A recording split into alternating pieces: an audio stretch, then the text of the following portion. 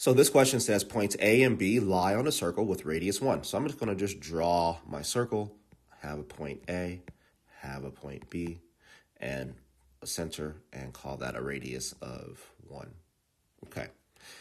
And arc AB has length pi over 3. All right, so this arc right here, so this portion of the circle is pi over 3. What fraction of the circumference of the circle is the length of arc AB? Okay, so that seems pretty straightforward, right? So initially we use plug-in picture, right? Because I'm drawing this based upon what's been provided. But now I'm going to just translate what I'm reading here, which essentially is saying, hey, if you like have pi over 3, well, what fraction of that is it, you know, what fraction of the circumference is that pi over 3? right? So I want to actually just divide those things or create the fraction.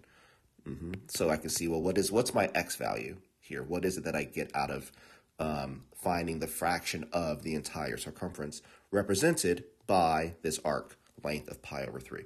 So this is a complex fraction, right? We have two fraction bars. So anytime I see that, I like to just separate them. So I'll say pi over 3, and then I'll use this division symbol, right, divided by and then my 2 pi r. Again, we know that r is 1, so let's just get rid of that, right? So really that's just going to be 2 pi. So now uh, whenever you're dividing fractions, and of course I can call that 2 pi over 1, we can say, well, the first fraction stays the same.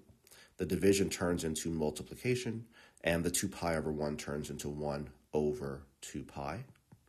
My pi's will cancel out, and what I'm left with is 1 over 6. So therefore, that is my answer. 1 sixth is the fraction of the circumference of the circle that's represented by the arc length AB.